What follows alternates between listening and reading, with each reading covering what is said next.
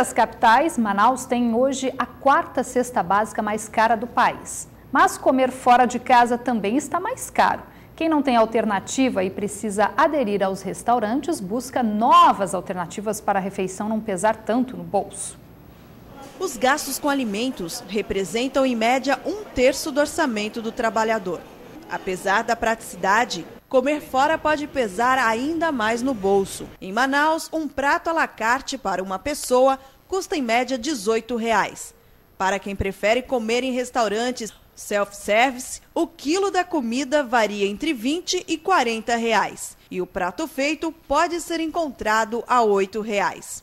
Para o proprietário desse restaurante, diante dos constantes aumentos da cesta básica, fica difícil não repassar o preço para o consumidor. Nós temos que ter esse jogo de cintura porque a demanda é, de preço ultimamente no país tem subido muito, né? Como feijão, arroz, toda a cesta básica. De acordo com o presidente da Câmara dos Dirigentes Logistas de Manaus, cerca de 25 mil pessoas almoçam diariamente nos restaurantes do centro da capital.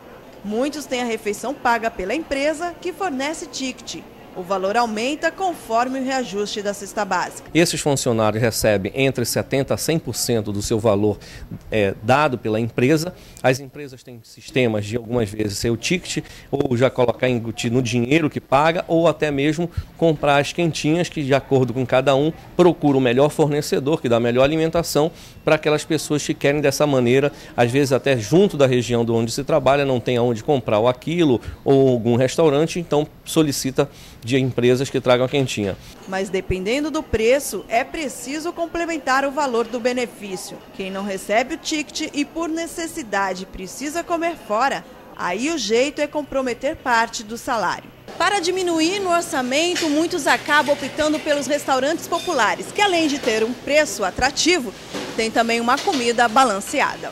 O povo vem aqui que é mais barato, né, a quantidade da refeição e a qualidade que é 100%, né? Nós seguimos as recomendações do Ministério do Trabalho e Emprego, é, atendendo as recomendações do Programa de Alimentação do Trabalhador. Josiane, que faz três refeições por dia na rua, gasta em média 400 reais por mês. E o valor só não é maior porque também optou pelos restaurantes populares.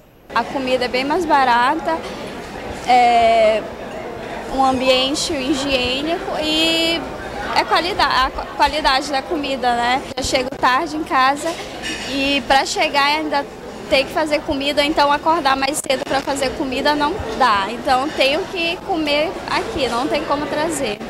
Restaurantes populares, pesquisar preços e levar a comida de casa são algumas dicas desse economista para não comprometer a renda do trabalhador no final do mês.